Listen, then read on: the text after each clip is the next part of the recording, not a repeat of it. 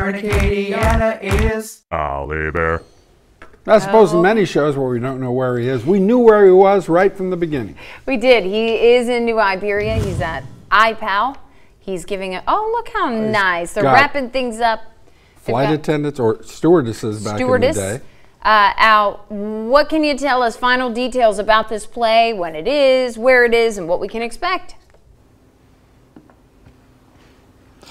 Hey guys, we are back. We're wrapping up our morning here in Iberia at IPAL with Catch Me If You Can.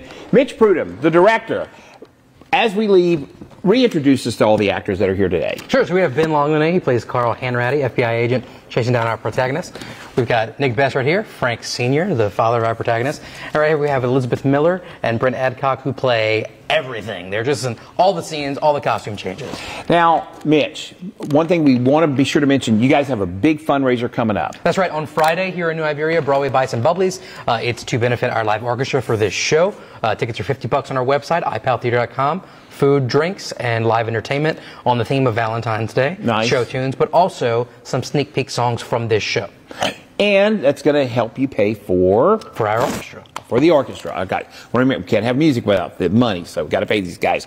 Uh, how do we get tickets for the play? Uh, also, ipaltheater.com. They're 20 bucks. Um, assuming we don't sell out, you can get them at the door. But after, again, after we're on this show, we're going to sell out. We know that. So Thank you for the validation. I, that's why I love being here. That, uh, and and they'll probably sell out. So get them right now.